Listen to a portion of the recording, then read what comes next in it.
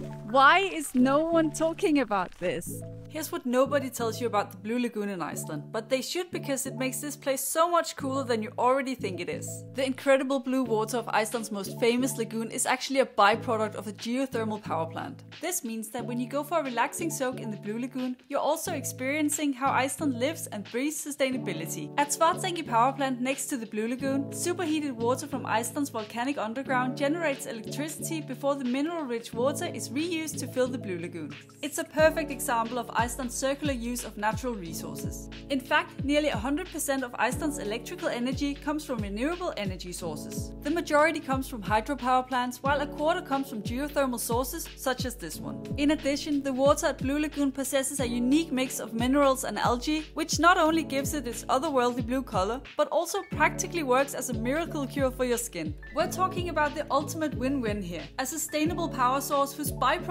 is basically the fountain of youth. So go and experience this otherworldly place for yourself when you're in Iceland.